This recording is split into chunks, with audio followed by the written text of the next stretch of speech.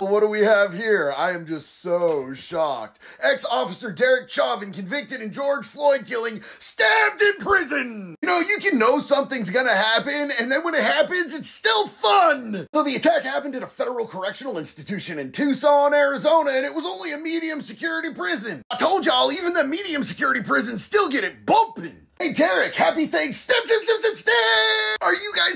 My favorite part? I am. They had to perform life-saving measures. Those words just sound so good coming off my lips. Then he was taken to the hospital for further treatment and evaluation. And a lot of people always ask me in these high-profile cases, why did it take so long? Yo, it probably didn't. They don't report on it unless they have to take him to the hospital because the prisons want to keep it hush-hush because it makes them look bad. Anyway, this brought me so much joy and I only have one question. It's for Derek. Hey, Derek, could you breathe? Boy!